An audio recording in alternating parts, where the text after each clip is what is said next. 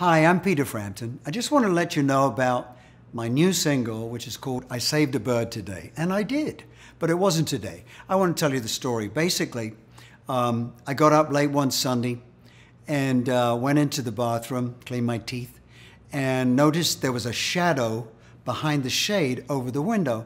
Um, and there's a balcony outside there. And um, so I looked behind the shade, and there was this giant bird uh, who had flown into my window and just dropped and was very stunned um, and uh, wasn't looking too good. He was looking at me as if to say, help. And so, anyway, I immediately Googled um, uh, save a bird or whatever it was and um, got, the, got the number of a, um, a wildlife uh, saving person here in the Nashville area and called her up and said, Look, I've got this giant bird on my uh, balcony and uh, is hurt and stunned. And she said, Look, if it's that big of a bird, I think if you just go about your day, two or three hours, come back, and he will have probably come around and uh, flown away. So I did. We, we went away and did our stuff and came back two or three hours later. And I go, oh, better check the bird. So I went to the window and pulled up the shade, and he is very well now.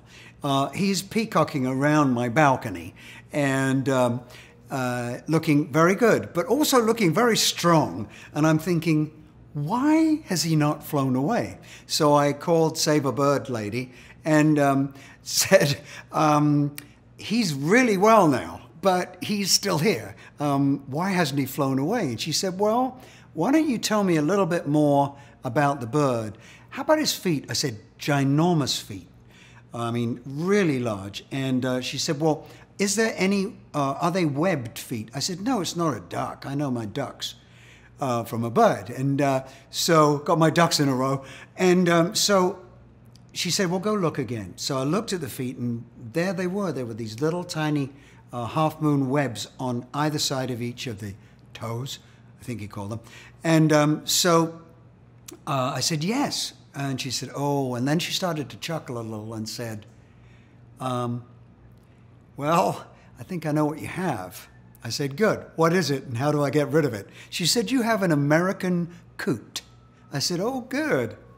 And uh, she said, well, the only thing about the American coot is that it's one of a handful of birds that only takes off from water. I said, "You're kidding me." Uh, it's now like 6:30 at night, and it's getting a little dark. And I said, "I can't just drop it off the balcony." She said, "Oh no, no." Um, it's got to take off from water. So she said, Do you have a river? I said, Yeah. So I go down to the river here, um, down Broadway, and as it dead ends into the river.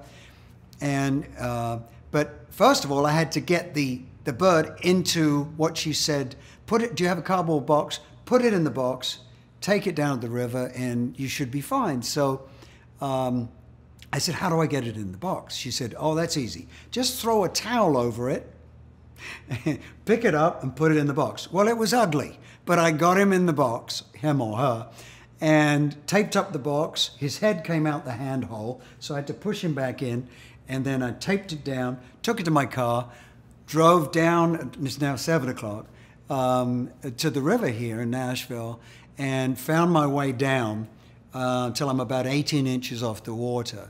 And uh, put the box down, gently lifted the lid off, untaped it, and he's just looking at me like, yeah?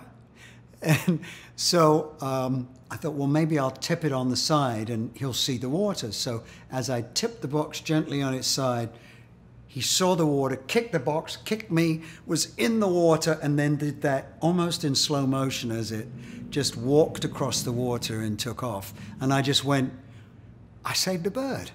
And who, know, who knew that that was going to be a song when I told Gordon Kennedy the story, and um, he next came came round. I said, I've got some music. A few days later, and I didn't think we were going to write about the bird necessarily, but he had got a first verse and maybe more of the story, um, and which I've just told you. And so that's why it's called I Saved a Bird Today. And I can't tell you the feeling, great feeling it is to, as that thing was taking off, knowing that I'd actually saved the life of, you know, okay, it wasn't a human being, which I would love to save, but it was a bird. It was a living thing. And um, it just made me think of what's going on today. We need a little bit more love and caring and truth.